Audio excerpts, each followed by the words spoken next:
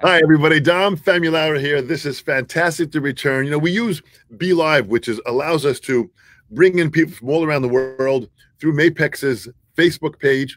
And with this today, we have Claus Hessler here from Germany. Claus, thank you so much for joining me. My pleasure, as always. you know, we go back a long time, Claus, and we have done many, many events together. And it has always been my pleasure that when I, I get the chance to sit down with you, you're always thinking and creating something new. I'm really so impressed with that. There's always something new that's in your bag of tricks. Well, I, I wouldn't say tricks. For, for, the most part, it's uh, it's actually work. But the, the good news is, I always enjoy the work. well, listen, that's that's. I think that's why we all continue doing this here, and we yeah. all have to be a little bit out of our mind to be exactly uh, honest for sure the way it is.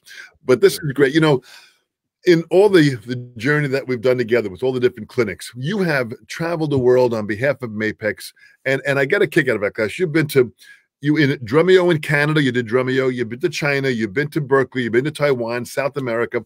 Fill me in just about some of the traveling that you've done on behalf of Mapex and some of these events that you you've performed at. Well, I mean, um, the, the the list is long, and and and every, every time when somebody asks me a question like that, uh, the, the first thing is, holy Jesus, where should I start? let's let's start with Drumeo. Start with Drumeo. How was that event flying out there with Jared and the team? What a great, great team.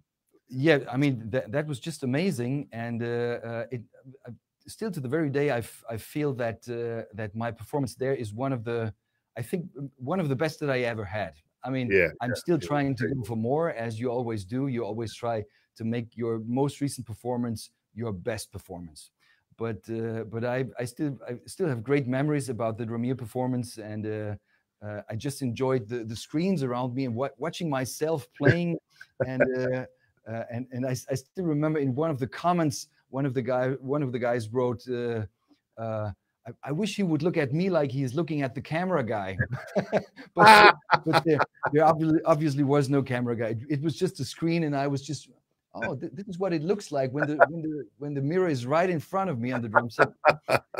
okay, so uh, so that was great, and uh, of course I do enjoy teaching. So it was not just that live lesson. Yeah. Um, that uh, that was a, a, lot of fun. It was also like shooting a couple of lessons on open-handed playing and on Moeller and uh, on collapsed rudiments, which uh, which was like one of the the favorite playgrounds of uh, of Forbes. I, I yeah and, uh, so so that was that was huge. Drumeo was was actually great. Yes. you know, it's it's amazing because at Drumeo, you know, they've got this incredible reach, and and I've watched your performance on this several times, and and some of the lessons. It's always great, great stuff.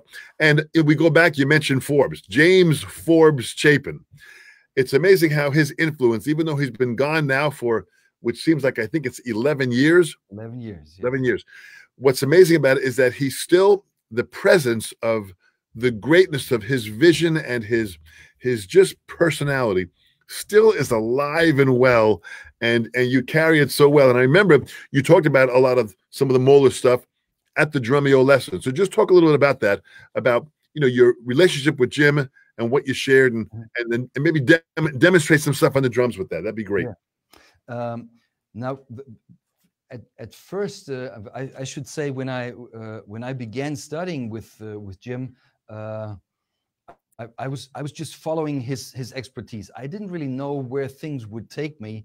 It, it was just I, I realized okay, there's an old man who seems to know a lot about how a stick is working inside a human hand. So I just I just trust this person and I just do what what he's telling me. So that was pretty much uh, where we started, and uh, um, and it, it also turned that besides the lesson, um, I pretty much sat down in a lot of lessons that Jim would teach to a third person. Yeah, yeah. That third person would request me to stay inside the room because not everybody's English was that good, and Chapin usually didn't make any prisoners when it was about, say, talking English. So, so quite some people would not understand what Jim was saying. so I stayed in the room just trying to translate, but uh, uh, but it was kind of cool to watch from the outside how yeah. Jim would teach the system and with and with yourself not being in the front line. Right. Yeah. Interesting. So, so that, yeah. that was a, a, a very enlightening uh, situation that I experienced many times, I should say. So that was pretty cool. It's funny with Jim. Listen, even when he was here teaching at my studio, and the person understood English, I still had to go in there and translate some of the information that was going on. he was such a brilliant mind for sure. Yeah, absolutely.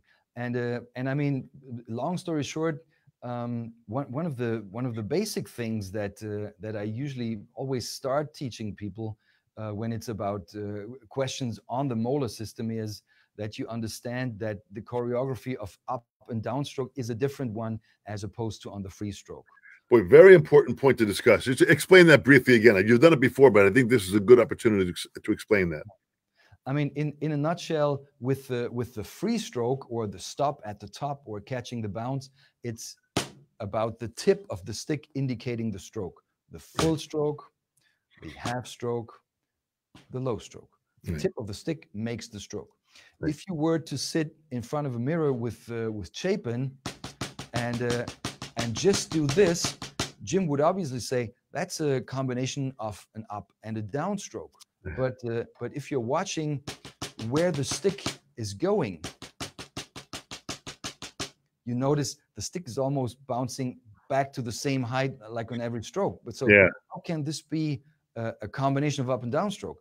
The answer is the up and down relates to the direction of the hand yeah. at the time of the hit, not the tip of the stick. So when you watch my hand, down, up, down, up, down, up, down, up, down, up, down. And every time I say down, it's pretty obvious that, that my hand is moving down. Yeah. I yeah. don't care about the, the, the tip of the stick, but there needs to be what both Chapin and Moeller called the flybacks. Yeah. Which I mean today from today's standpoint, we would say the rebound. So so if you if you try and practice Moeller from that standpoint, that's, I mean, just as much Moeller as uh, as milk is blue. it is not. you know, it's amazing to see that this information and this knowledge being passed on by yourself, you know, from Jim to yourself, from Jim to myself. You know, it's almost like we have this real responsibility to make sure we clarify how this information is delivered and for this next generation to understand what we have. We've got some some people that are signing on right now. Maxim Dioman, who's from uh, Kiev, Ukraine. Andy Thurston, a phenomenal teacher from from Nottingham, UK. Uh, Les Scott, Liam Harwick. Look at this here, man. Victoria Milveskia, oh, from Kiev, another phenomenal phenomenal player. And uh, Steve Waichots, Look at this here. Joshua Martinez, some great, great people here. So, with this here, just talk about the concept of when you go and travel, and we talked about even you going to China. What was it like in this first trip to China? Mapex is so supportive of these events, and they sent you to China. What happened with your first adventure in China? well, I mean, uh, of, of course, traveling to a to a country like China, which uh, which is ticking totally different as opposed to most other parts of the rest of the world. I mean, yeah there's a variety of things that you need to adjust to. It's not just the time shift, it's the food, it's the drinks, it's everything. It's, yeah. it's the, the the whole cultural background of the people that are attending. It's how people behave. It's it's really a, a completely new world, and it's a completely different setting that you have to adjust to in in one or the other way. Yeah. So, um, I mean, that being said, you just try to uh, to to to play the drums as good as you can, but still on top of that, you got to be alert at all times. Okay, what's happening next? I mean, what are people expecting from you? And yeah. traveling as a as a working musician always comes with a good amount of diplomacy. You you need to be friendly. You need to be alert to some degree at times. It's yeah. it's a mix of all of that. And uh, and what I learned is first and foremost, you have to be human you mm. have to behave properly as a human being, and you treat people like you want to be treated. Yeah, and uh, in in case you stick to that motto, let's say, there's not too much that can go wrong. Yeah. well, there's a certain you know you mentioned about the diplomacy, and and I know how it is from traveling around the world at this pace. And not only is the the trip a long trip, the time change is completely different. As you said, the food, the language, translation, and even so important in the translation, we have to make sure that what we're saying is being translated in the way that we want it to be translated. Sometimes the understanding of what we say and how they take it in might not be exactly there. So it really is a very, very important part of being compassionate and and empathic. Uh, our our empathy for the person that's translating and how we deliver this. It really is a challenge. It, it is, but it can be learned. It, yeah. It's, it's it's not rocket science. It's uh, it, it's doable. I, I I truly think. And uh, uh, and although it may sound like it's a it's a complete adventure as we speak now, I always enjoy traveling to China and traveling to Asia in special. Yeah. And uh, I like the food, I like the people, and is it different? Yes, of course it is different, but yeah. I really like the way how it is different. It really takes an open mind to travel at this pace. I mean, as I said, with you going down from, and even you were at at Berklee College. Talk about Berklee College. You went to Berklee College in in Boston in the U.S and yeah. did an event there also. Yes, uh, I mean, which was special in a way because uh, I was also performing with a band, so I I was sending out a, a, complete songbook with a couple of my say favorite tracks, and we even rehearsed, which usually never happens. I yeah, mean, yeah. We imagine you rehearse with a band the night before you go on stage. most of the time that does not happen. You, yeah, right. you call a couple of tunes and say okay let's let's play a blues and or whatever or any standard that everybody really knows but uh, but you don't send out sheet music and uh, and recorded music before and and everybody would listen to that and then practice and rehearse together. Usually that never happens. So uh, yeah. Uh, so that was a, a great experience. And uh, john ramsay who was in charge of, of things yeah. um, uh, I mean, we, we had great talks and a lot of fun, and uh, it, it actually appeared that um, uh, that the one of the major reasons I went there was uh, that uh, John Ramsay is good friends with David Garibaldi, and uh, so it so it appears that David had called John saying, "John, I got a new hero." John was saying, "David, tell me what what are you up to?" there's this guy from Germany. I mean, you you, you should see his hands, and uh, and I mean the concept.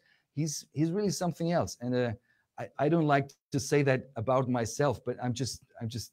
Yeah, no, Garibaldi has the utmost respect for you. Absolutely. So uh, so John said, "Okay, David, I take you by the word. I'm gonna I'm gonna gonna invite this guy, and this is how it came together. And uh, of course, we did connect a couple of other things as I was traveling on the on the East Coast. I remember I did a clinic at your place still. Yeah. Uh, yes. So great times. Yeah. it's, pretty amazing. But you know, I, I, always say that the thread that goes through here is the support that Mapex has for their artists and how they kind of believe in the fact that we want to get you out there. We want you to play for them. We want you to showcase the product, teach and inspire this next generation. And you do this so well, really globally around the world as you do this here. Just talk about now the drums for sake. You know, you, know, you have uh, what drums do you have there? You've been with Mapex for many, many years, and you've used the Mapex Saturns on on many, many performances that we've done together. You've also used the, the new uh, design lab that uh, Russ Miller has has been yes. brilliantly behind that. So talk about talk about what you have here, and let's talk about the other drums too.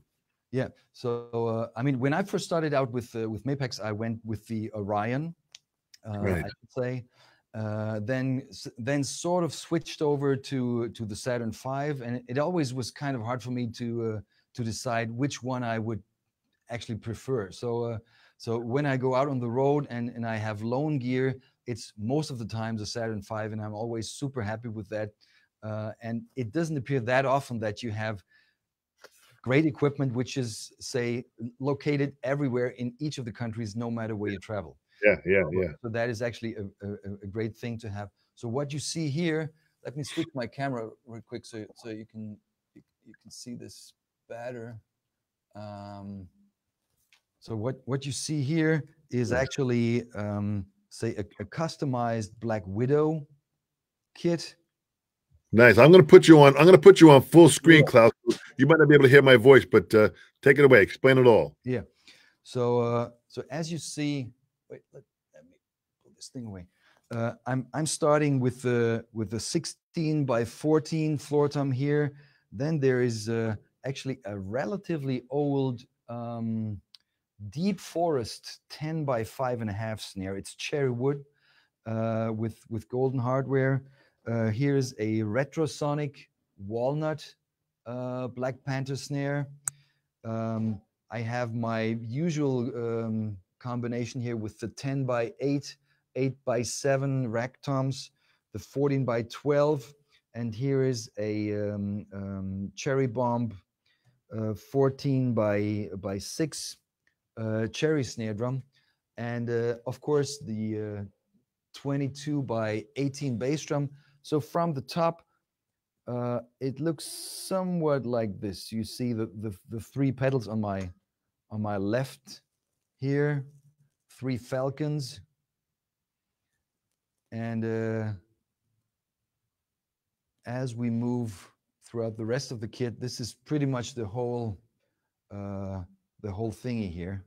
Um, yeah, I got the the, the, the cowbells here in the middle. Uh, three hi-hats actually. This one, my main hi-hat over here, and uh, and this one, which is uh, which is pretty much the, the, the standard remote, uh, say closed hi-hat adapter. Uh, I'm I'm just putting it into a standard uh, um, uh, stand, which makes it much easier for me to uh, to put this guy in place.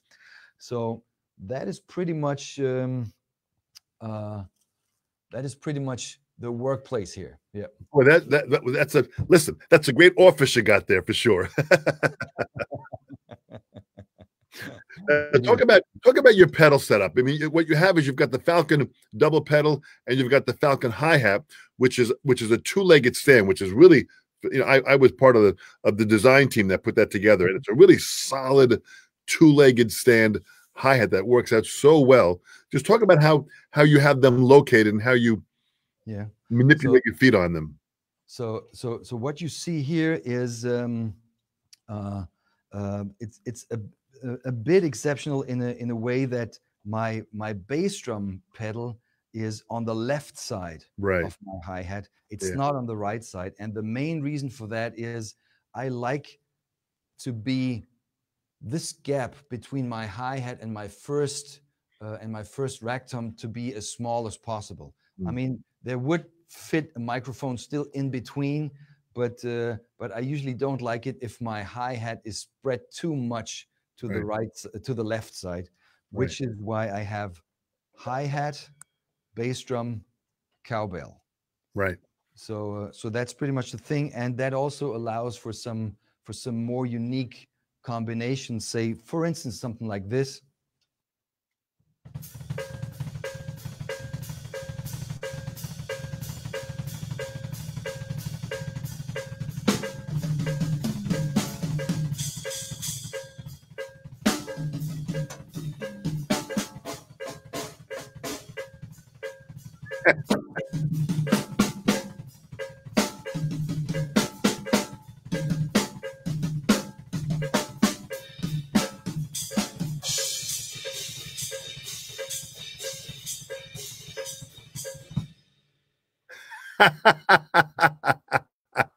See, people have to understand you're playing that with your left foot, playing the cowbell and playing the, the bass drum of what you're doing, but you were also holding the microphone with one hand, so you were playing the drums with only one hand.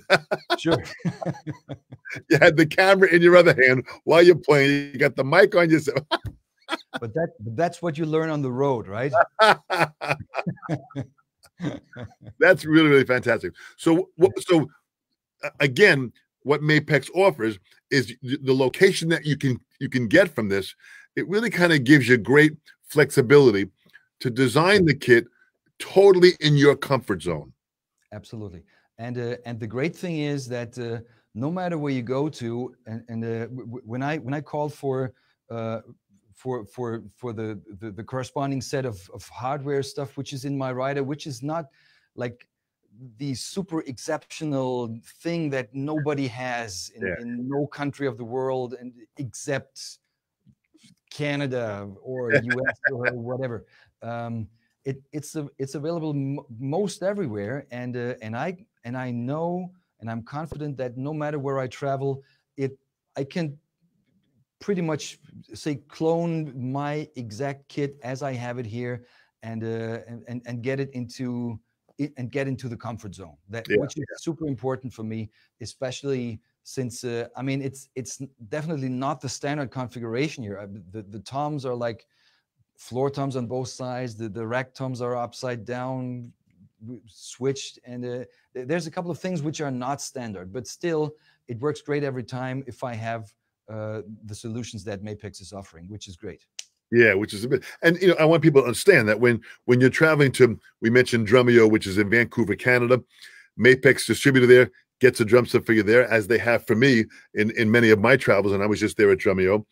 When you're in South America, the South American distributor organizes that in Taiwan, in China.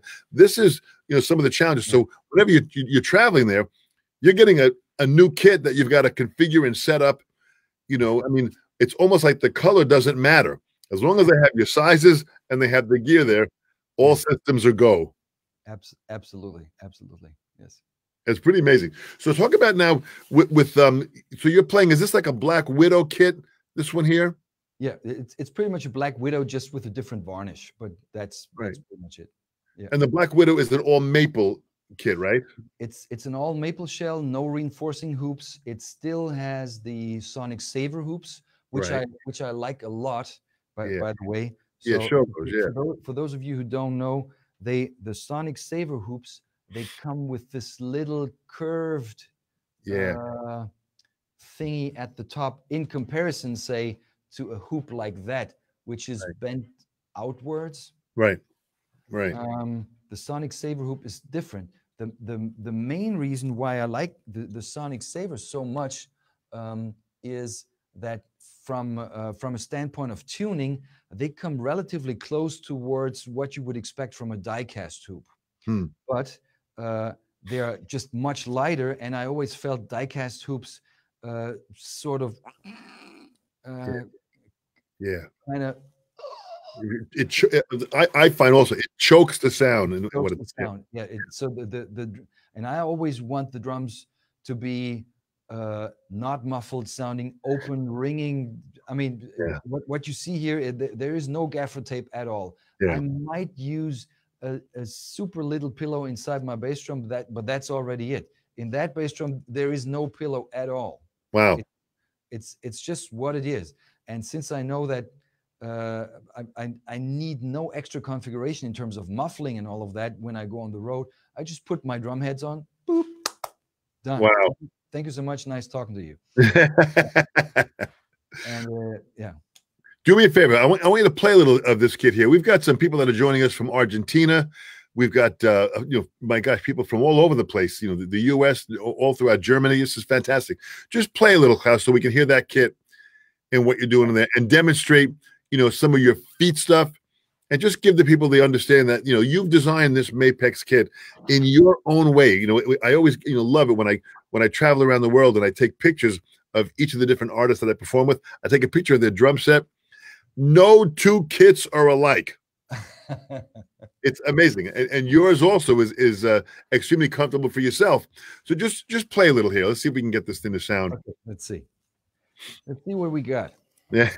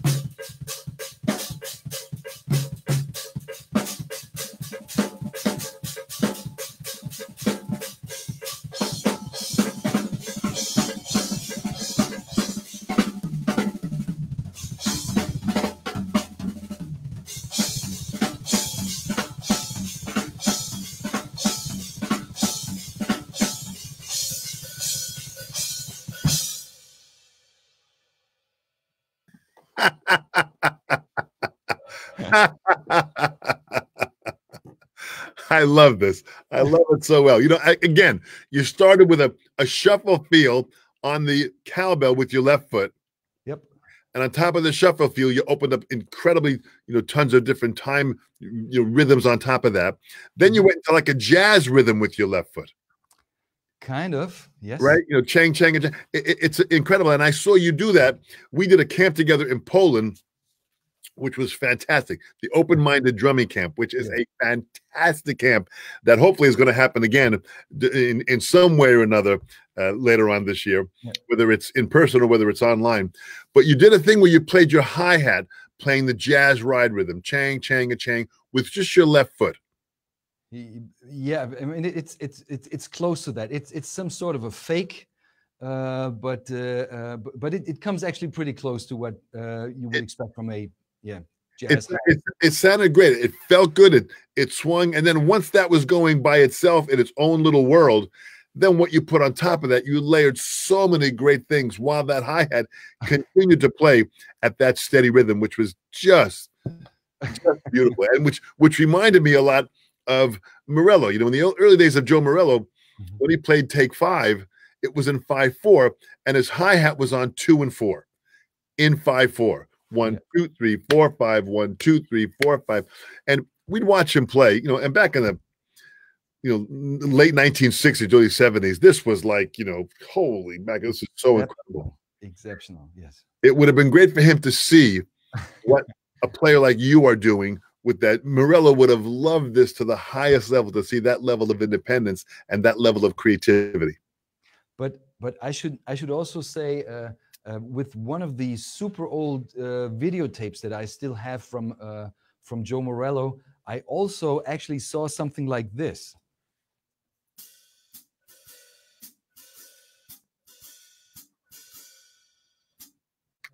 So he definitely did do that at times Yeah. and, and was playing stuff on top of that. Uh, I mean, I never saw him do that with uh, with Dave Brubeck or in a, in a band like setting, but uh, but I remember a little solo spot which was on on one of the of, of the videotapes uh, with uh, with Joe playing the, actually the exact jazz cymbal rhythm on the hi hat with his left foot. Yeah. he he didn't go super crazy with his hands, but uh, but when I I still remember when I saw that first, I was, what the freak is happening? is, is this any possible? And uh, yeah, It's it's so great to see that these listen, you are clearly standing on the shoulders of these giants and you are paying such honor and tribute to them, which is so wonderful to see. Really, really fantastic. Talk about just talk about if you would open-handed playing. You know, you, you've put out a couple of great, great books on the topic, and just talk about it and how you have your setup set up that way, and about how you're playing with your left hand lead on the hi-hat and how you have that freedom. Just just you know, plant the seed a little bit with this these Mhm. people that are listening right now. Um, I mean, uh, maybe be, before I play you uh, just a little something to, uh, uh, to to back up what I'm what I'm saying. I, sh- I should mention that um, uh, with my kit, it's not really uh, it's it- it's it's not really mirror like from from left to right, Right. but uh, there is some there are a couple of good reasons why things are set up the way they are set up. Hmm. So uh, um, so just so you know. Um, uh, the, the the the not really the exact pitch, but uh, but the tonality of the toms kind of mirrors the tonality of the cowbells. So Mm. if you watch the toms, which is this,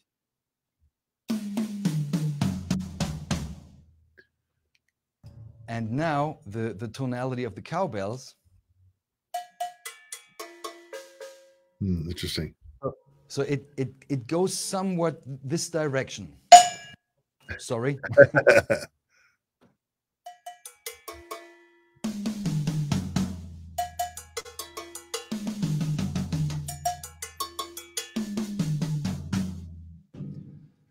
So Very interesting.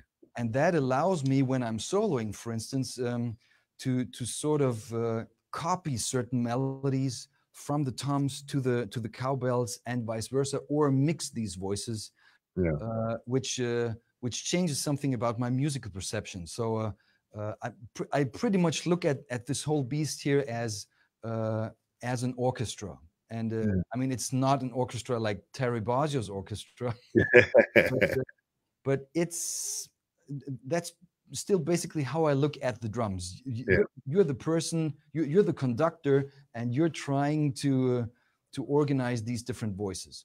Yeah, Um, yeah. So I also do have three hi hats here. I have low toms on both uh, on both sides. I have three snare drums, which uh, uh, which allows me to to say um, play the same groove using different settings, using different feel. So Hmm. uh, let me give you a couple of examples. Yeah, yeah.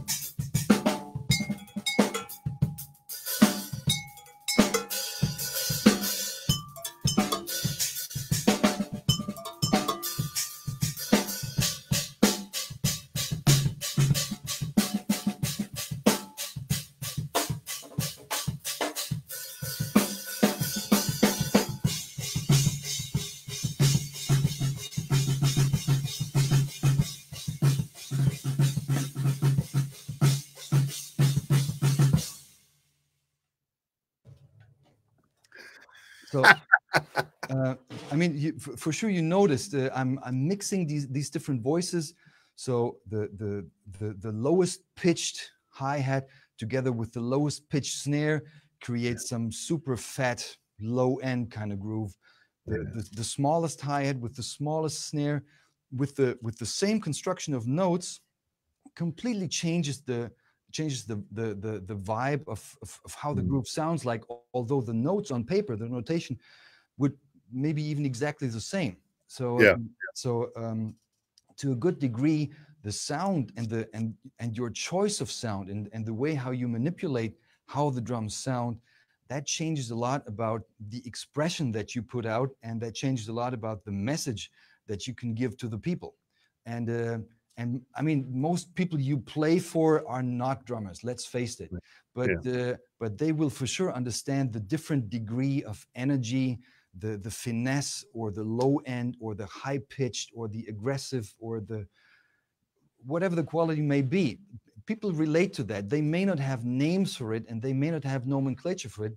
But uh, but I'm I'm super happy that. Uh, that a company like Mapex is putting all these different drums out, which are available so I, I can use them and and play around with them like a kid in a in a in a sandbox pretty much but I think what's really amazing, Claus, is that you really have stepped back and you look at the instrument, like you said, like an orchestra, and you are you are really kind of composing and and bringing in these different sounds and bringing in combinations of sounds. Not only how you tune the drums, which they sound so fantastic, but your choice of cymbals and how you mesh them and and and bring them together with the drum sound. This is really what I think I want the next generation to understand. Not every drummer does that. You know, it's interesting. Jeff Hamilton joined us here, who's a phenomenal, phenomenal drummer, as you know. And actually, I'm going to be interviewing him next Monday on June 1st, same Wow. time at two o'clock Eastern Standard Time. So I Uh-huh. want you all to join back to hear Jeff Hamilton. But Jeff's another one of these guys. Like what you do is you really kind of bring that cymbal sound and that drum sound together in a blend that just makes it so pleasing that even a person that is not a drummer feels the positive vibe that comes out of the sounds that we're delivering. With and and that's i think what it's what it's all about i mean if if only the drummers like what i do uh, what, what should i do with that i mean and and i'm not saying everybody has to like what i do if if everybody likes what i do possibly I'm doing something wrong. So I, I, would I would rather go with uh, a couple of people that don't like what I do. I, am fine with that. Uh, it, it, it, it, I mean, the, the worst thing in the world uh, and the, the biggest punishment for my drumming is if somebody says, that's boring. yeah, yeah. That hurts. That hurts. that hurts, yeah. but again, a little bit of friction creates heat, and where there's heat, there's fire. Bring it on. So that's a, that's yeah. something something good also. well, that sounds great. But you have such incredible freedom that you have, and you talk about it in your in your two open-handed books. If you have those books there, just show them, Claus. Just show the crowd. Yeah. What we have here too. So uh, it's uh, it's actually uh, open-handed playing volume one and volume two. Uh, volume two, I should say, is uh, is uh, working on linear phrasing and the use of rudiments around the kit. And volume one has two different approaches, which we, which we ended up calling the voice variation approach and the traditional approach. So, um, so th this is not saying that volume one is the one you start with, and volume two is uh, is more advanced. So you you only do that later. You can start with any book. You can you can work at them yeah. simultaneously, yeah. pretty much. It's just different roads that lead you to Rome. Yeah. But there is no higher road or or whatever road. It's it's all the all the same roads. Yeah. It's really kind of interesting because when I teach out of the book and I use I always have both books at the same time. And I tell them and I explain the four different directions of where they are and let them choose where they might want to go. They might want to choose one part from book two and one part from book one. And it's that, it's that, you know, mix of all of it that I think helps to understand what the true potential is of open-handed playing. Absolutely and uh, uh, and I mean, like with the with the first uh, volume, um, and and with that even more as opposed to volume two, the the first book pretty much described a lot of the exercises that in in the first place I would write for myself. Mm. on the on the way back from from many years of playing hands crossed back to open handed where I originally started as a kid. Yeah. Um, so it's uh, uh, so which which makes that book really different uh, to me because um, I, I, am I am the I was the beta testing student, uh, sort of trying out what what what you guys out there can now have with the book. Yeah. Um, and uh, so, I mean, make no mistake, there were lots of pages which did not make it into the book. Yeah. And uh, and there were some of the pages which just made it at the very last moment, and anything in between. But uh, it was basically all about figuring out ways to uh, to make full use of the of the full potential that goes with open-handed playing. Yeah. So, for instance, like uh, I mean, something which which everybody out there may have heard or or experienced. You play a groove, everything is fine. You play a fill, and all of a sudden, not everything is fine.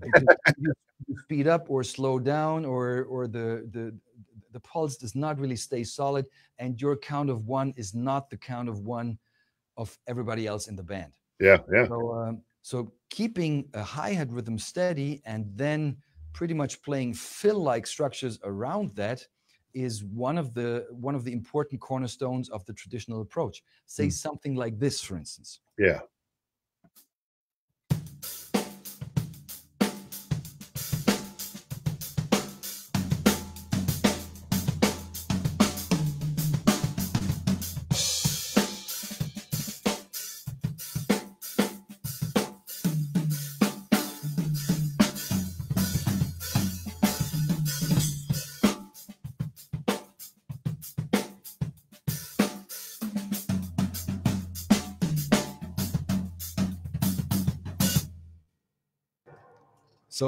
Fantastic. anything that allows you to uh, to keep the hi hat rhythm going and then play the fancy stuff with your strong hand, yeah.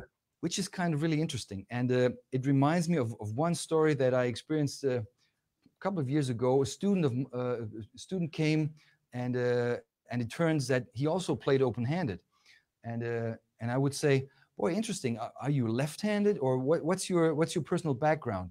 And he would say, No, I'm right handed and right footed. Uh, so, so I said, Why do you choose to play open handed? And he says, Well, I mean, a couple of eighth notes, playing that with my left hand, that's a piece of cake. But then I can play the real hip stuff with my good hand. Why, why, should I waste my good right hand for a couple of eighth notes? I don't get the point. And, uh, what a what a great way of thinking. That really is fantastic. It absolutely is, I think. And uh, I mean, playing all kinds of groupings against the against the hi hat rhythms and, and all of that. Uh, I mean, you can do that musically, but first and foremost, uh, what these structures with groupings around um, a, a, certain hi-hat would do for you is they create a lot of different combinations. Right. And uh, and from that point on, it's pretty much like like a chess player. If you have a chess player who has seen a lot of different positions on the board, yeah, those are the kings, right? Yeah. If you haven't seen a lot of different positions on the board, uh, you lose most of the yeah. time. so so getting getting the to know the positions which there are to know on this uh, on, on this set of drums uh, that's what what takes you to a, a completely different level this, yeah. this is pretty much how i look at it well that's fantastic was that a, is that a 20 inch bass on that kit uh, that's 22 at the 22 on that kit wow that's fantastic it just it sounds great, man. It just really, really sounds great. So this is and this is the Black Widow kit that you have, but you've also played and and also have you know a, a Saturn kit. Uh, I I mean most of most every time when I go out on the road and I play loan stuff, uh, loan gear, it's nine out of ten times a Saturn Five, and uh, uh I mean just last year I also got to play some of the anniversary um, kits, which mm. which Mapex has out which are simply amazing. Yeah, yeah. So, yeah. Uh, uh, so I, I, remember I, I played a, a, kid in Spain late November last year, uh, which was back in the good old back in the good old days when when people would still travel and, and people coming to shows. Believe it or not. Yeah, yeah. I, I played one of these anniversary kits, was which was just amazing at uh, Alteza Drum Fest together with uh, with Ash Soan and uh, um, and. Um, uh, Annika still uh, was was uh, was on board, and and Derrick McKenzie of, of nice. yeah. So nice and great drums, by the way. Yeah. How really fantastic! But I also do play a uh, a cherry bomb when I when I go out on the road and uh, and I perform with uh, with my equipment. I have. Um, I have my cherry bomb with me. This is pretty much one of the snares that that goes with the cherry bomb, which I no. have uh, now super low tuned. Um, yeah, but it also goes with my standard configurations like the the, the 10 inch, the 8 inch, 14, 16, yeah. the, the 10 inch snare and the 14 inch snare. And there may be any other 14 inch snare on top of that that I use for the for the low end tuning at times, not always, but many times. Yeah. yeah, yeah. But it's it's so great how you how you've evolved into your kit the way it is and it's just so exciting. But you also did the um, the, the uh, demo video, which is online, of the design lab, the Mapex Design Lab. So just talk about that kid, you having had the chance to put your hand on some of the mounts out of the mind of Russ Miller. This is, you know, absolutely incredible. I mean, th- this is this is completely freaking crazy. Yeah. And, uh, um, uh, and, and I understand that uh, it it may not be for everybody, but I, I just I just love the way how open and how and how resonating and how free everything sounds. And and with me being a, a, a complete fan of no muffling at all, this yeah. is this is heaven. So yeah. when I when I see drums resonating and and moving like that, this is this is what I want to have. Yeah, the best, the best. I mean, for for the most part, I never adjust anything on that, but uh, but just uh, but just the the opportunity to have a drum resonating as free as that is, I mean, astounding from a technical side, but also makes uh, a huge difference if you're sitting behind these drums and if you notice all of a sudden what the drums are giving back to you. Right, and, right. if you're sitting in the center of this one man orchestra, it's it's just amazing. It's incredible. I had the chance of, of interviewing Russ Miller, the, the, my first session that I had with uh, Mapex Live here, and so not only are the tom toms adjusted with different thickness of wood because of the shape of the drum to give it its most vibration. Mm-hmm. The the floor tom legs are angled to a certain degree that mm-hmm. allows the drum to resonate the most that a, drum, a tom can resonate sitting on the floor, which I was blown away. It was for a long time that that drum opened up. And then the mounting system is that of a magnet system that through the magnet you can adjust the wideness of the magnet that you want. Yeah. So, I mean, this really is 21st century technology in a drum set at its best.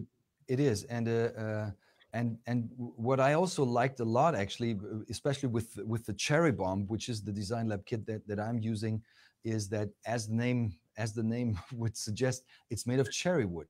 yeah, yeah. And, um, and I mean, the, the, the aspect that I like about it has some sort of environmental quality because uh, I'm I'm not a big fan of exotic woods and all of that. I think we cut down enough trees yeah, in the rainforest and it should not be for uh, for a couple of drums that we cut down even more of these. Yeah. But cherry wood is pretty much available anywhere in Asia. It's a very common wood, and uh, and it's nothing, nothing. It's no exotic rainforest whatever wood. Um, and and I just I just like that idea. And the interesting thing on top of that is, um, it comes sort of kind of in the middle, let's say, between what you would expect from from a standard maple shell and a standard mahogany shell. Yeah. And if if you guys ever played mahogany and if you guys ever played maple, the cherry is in in a surprising and and very pleasant way pretty much in the middle. Yeah. Yeah. And uh, and and that's what I like even more because the mahogany I was never like a, a super big fan of it uh, with pure mahogany shells, plus the fact with with all that rainforest shit, I don't care.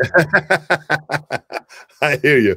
Point well taken. Well, it's great. Well, again, you, you, are such a great promoter of Mapex and how you play it so wonderful. Your creativity on the kit is just so open and free. And you know the drums have that that um because I don't use any muffling. Also, they have that Stradivarius vibration mentality where you know a, Stradivarius is made so it vibrates so you hear the wood and the sound of the openness you know. You don't go buy a Stradivarius and start wrapping gaffer tape on it to tighten the sound you know. Oh. So oh. the this the, the the workmanship that goes behind it really is well thought out. So you know people that purchase Mapex are really getting an instrument that has been you know through the the, the, the design process several times. And the balance of those engineers and the artists that really is something which is really really brought together very very well. I i, I completely agree. And there's a uh, there's a couple of things on top of that. Uh, number one is uh, if you if you or if i would if i were to buy an instrument and then uh, put the muffling and then try 10 different kinds of, of drum heads and then do all all these little things that of which i think they need to be done in order to make the sound uh, cool and, and the way I want it to be, oh, that, that's a lot of work. and, uh, and, and when I and when I notice I I, I play a, a loan kit from from Mapex, I put it out of the box. I put my drum my favorite drum heads on, and I get the sound I want. I don't have yeah. to change a lot. Yeah, yeah. Just I, I tune them, boom, ready to go. And uh, this this is what I want to have from a drum. I, I don't need to or I don't want to do all these extra twists and turns and yeah, yeah and good point. Whatever. It it has it has to be it has to sound the way I want it to sound in the best possible case right out of the box. Boy, Just great, great.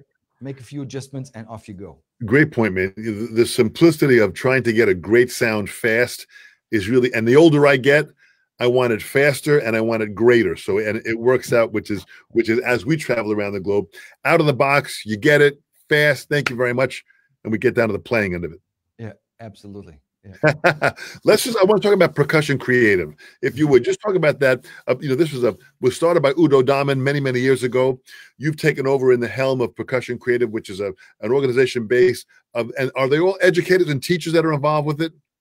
Uh, I mean, most of them are educators uh, slash teachers, but uh, but also quite some of them are pretty much just hobbyists that that like to play the drums.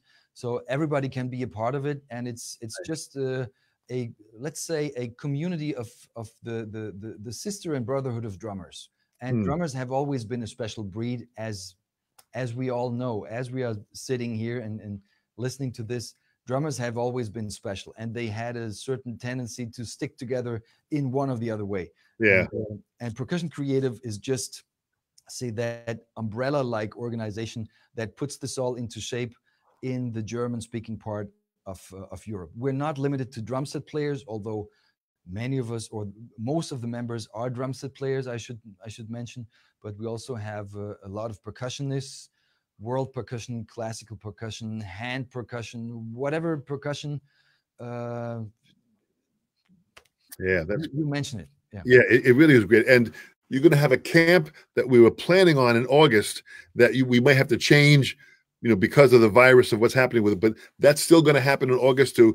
You know, a couple times, you know, you put these these camps together, which is fantastic to share that kind of knowledge to have it together.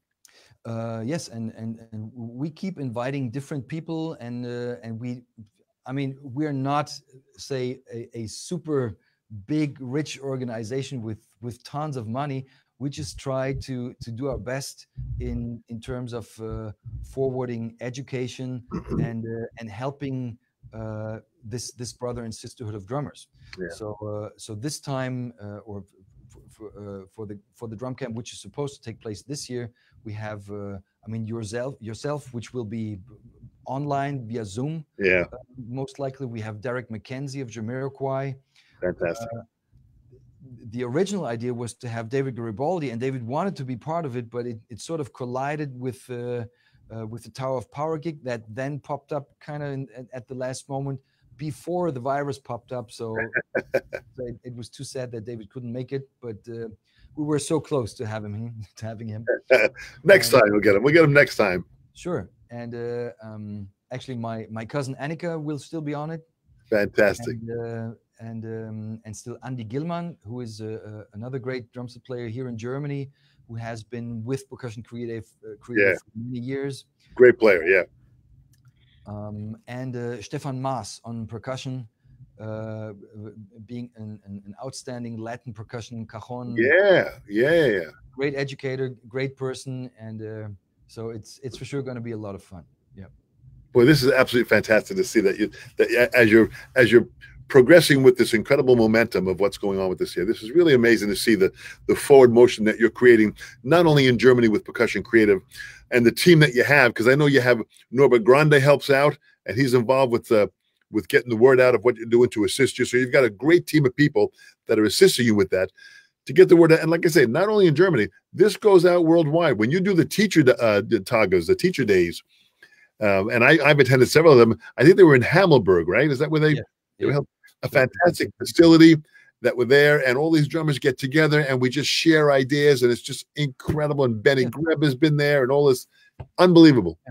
And uh, uh, I mean, we also put out uh, our own list of uh, of rudimental patterns of uh, of European origin, I should say, Nice. um, which is called the Rudimental Codex. So if you go to my website, you can download um, a, a, a copy of the Rudimental Codex, which is a, a poster with uh, with 40 plus patterns Yeah. most of them uh, being say somewhat different from the way uh, that uh, that you may find these patterns in in other lists this is not meant to rival other listings and collections of, of rudimental patterns but we just thought it would make a lot of sense to to put out word that rudiments and the art of rudimental drumming actually originated in europe Yeah. with France, Switzerland, parts of Germany. I mean, the, the borders back then, a couple of hundred years ago, were totally different. So uh, Yeah. we we cannot really say it was France or it was Switzerland or it was Germany or it was parts of this, parts of that.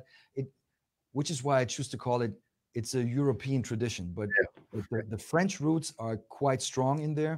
Yeah. And what makes the rudimental codex different is that we also offer, say, uh, hints towards uh, authentic interpretation Mm. uh, and we offer names in three different languages and we also offer quite some phrases which uh, which are not included in um, in the list of 40 PAS rudiments Yeah. and most people for instance have may have never heard about a certain rudiment which is a, a part of the codex Yeah.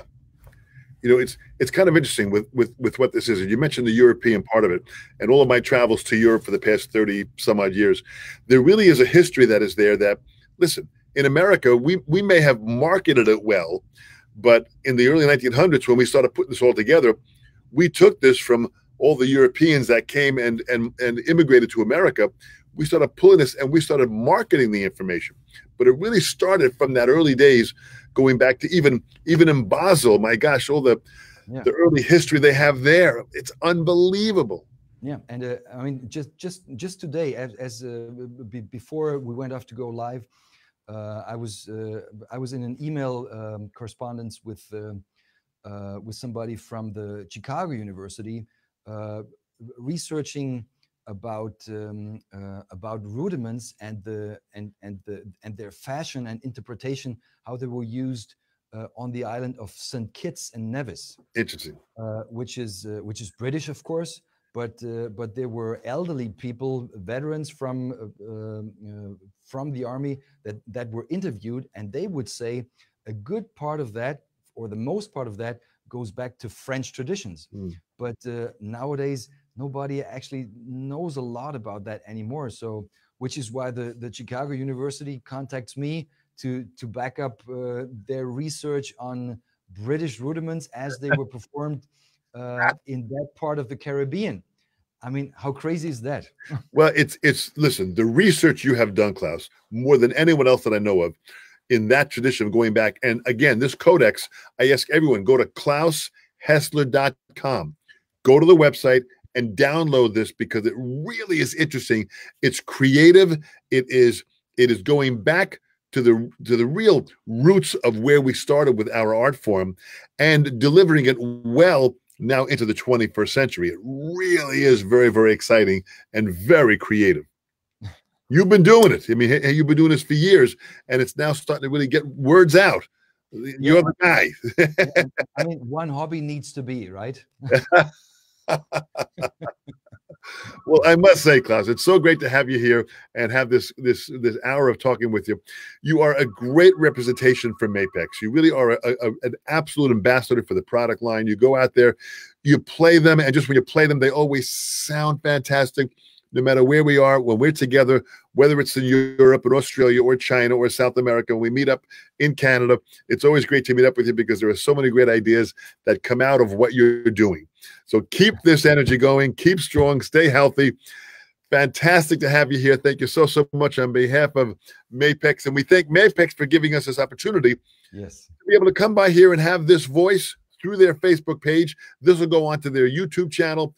If anybody is not here right now, or share it with your friends if they couldn't be it, have them go back and watch it again. Check it out analyze Claus's playing because people are going to be researching Claus for years to come. You know, ongoing. When, when he plays, we're going to be stealing those ideas for many, many years. As I just stole more ideas today. So thanks so much. Thank you. Always a pleasure talking with you, and uh, and always a great pleasure to to play Mapex gear. And uh, and I can't thank them enough for giving me the platform to uh, express my my musical ideas and, and, and thoughts. I, I just feel at home when I'm sitting behind a set of those. Oh man, fantastic. Well, thank you so much. And next week, June 1st, 2 o'clock Eastern Standard Time, I'm gonna have Jeff Hamilton here. Oh my gosh, oh we'll have more ideas and more creativity and more artistic standards that are going to be at a high level with Jeff, also as we have with you, Claus. Thank you so much. Stay well, and I'll talk to you real soon. All right. I will. Okay. Thanks, everybody. Thanks, guys. Bye bye. bye bye.